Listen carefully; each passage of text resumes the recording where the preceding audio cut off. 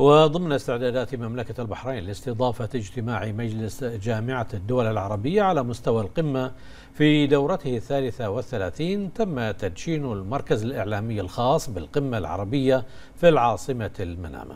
هذا وقد تم تجهيز المركز بكافة الخدمات اللوجستية والفنية والتقنية لتغطية وقائع هذه القمة التاريخية وتوفير سبل الراحة للصحفيين والإعلاميين من مختلف دول العالم.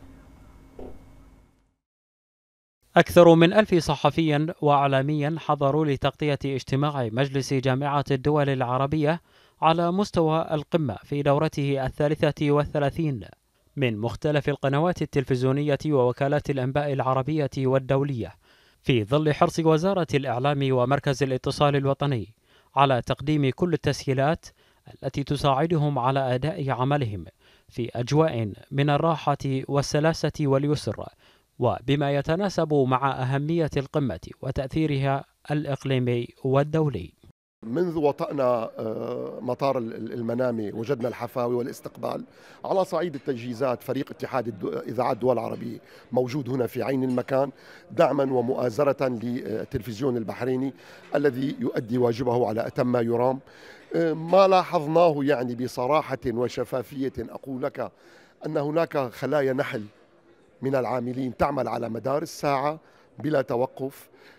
يعملون بمحبة يعملون وهم سعيدين. يعني منذ وصولنا إلى مطار المنامة نشعر بهذه الترتيبات المتعوب عليها كما يقول كما يقال سواء التجهيزات اللوجستية التجهيزات الأمنية التجهيزات الدبلوماسية.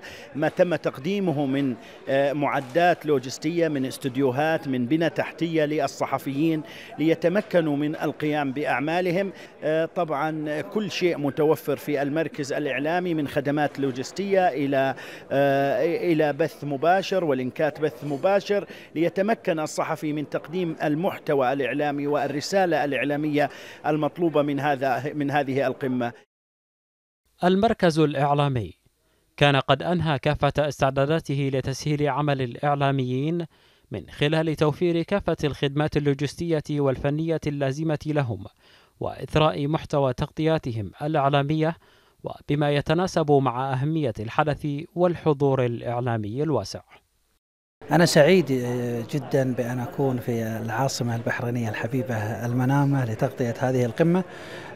سعيد برؤية هذه الجهود الرائعة من قبل الأشقاء البحرينيين الذين يعودون دائما على أن يكونوا متميزين في جميع الفعاليات التي يستضيفونها. جدا العدد كبير في المركز الإعلامي والتجهيزات على أفضل وجه.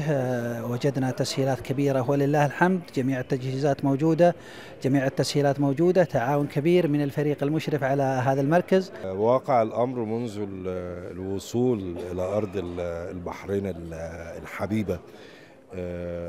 وجدنا كل تجهيزات على أعلى مستوى احترافية مطلقة في التنسيق تسهيلات في عمليات التسجيل المركز الإعلامي على أعلى مستوى الأمور التقنية المتعلقة ب بس الإفادات القادمة حتى من المركز الصحفي والمركز الإعلامي وكل ده بيعكس جهد كبير مشكور مش غريب على أهلنا وأشقائنا في البحرين ودايما في في تألق وإلى مزيد من النجاحات بإذن الله.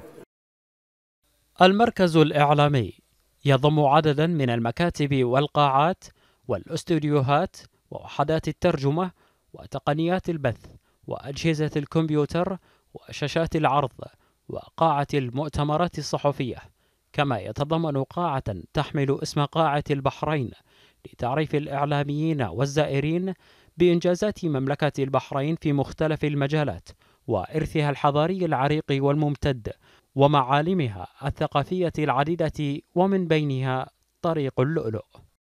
تجهيزات إعلامية أعدت لتليق بهذا الحدث التاريخي الاستثنائي المتمثل بقمة البحرين بدورتها الثالثة والثلاثين بالشكل الذي يسهل على الصحفيين والإعلاميين من مختلف دول العالم نقل مجريات الأحداث التي ترافق هذه الدورة التي يعول عليها الشارع العربي الشيء الكثير إزاء متنوع القضايا الإقليمية العالقة. خالد العون لمركز الأخبار تلفزيون البحرين.